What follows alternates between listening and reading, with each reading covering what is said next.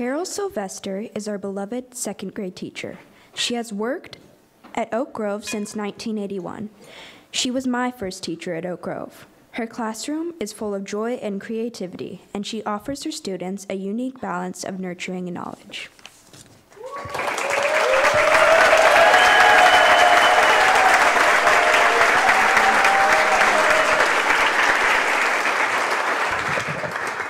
Thank you, Julian. Good morning. I'm so happy you're here, and I appreciate the reason you're here. As a young mother, I first set foot on this campus in 1979, and I attended the play A Midsummer Night's Dream. The cast included all of the about 30 students, ranging in ages from 5 to 13. Besides sensing the amazing atmosphere of this place, I was deeply touched by the quality of the play, and I mean deeply. It was set outside, and the students gave a stellar performance that left me thinking, I want my seven year old daughter to attend this school.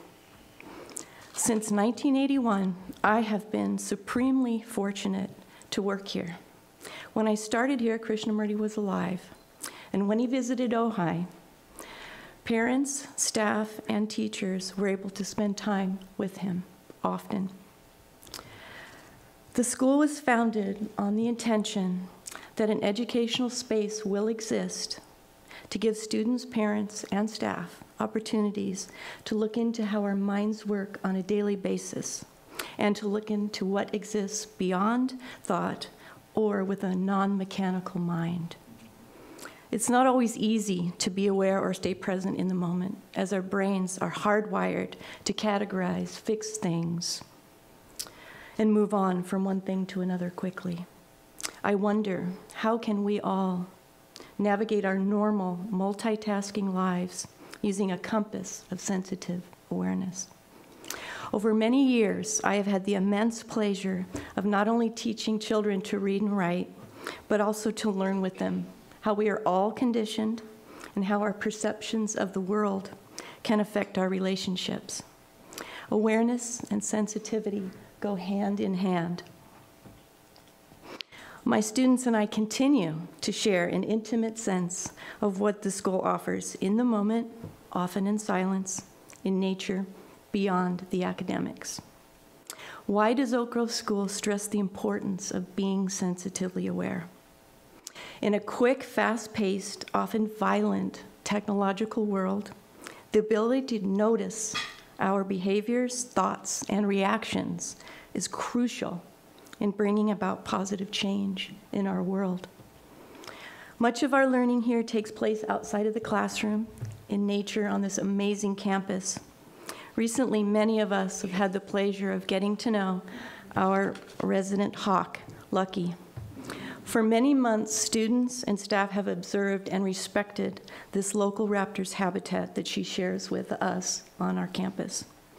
One day, while sitting in the lower playground, I felt a gentle tap on top of my head. And since the sky was cloudy and it was cold out, I figured it was probably a raindrop falling. Simultaneously, the children and I all felt a gentle gust of wind whoosh going over our head and we looked up to see Lucky flying with a dead snake in her talons. the end of her, excuse me, the end of the snake's tail had touched my head.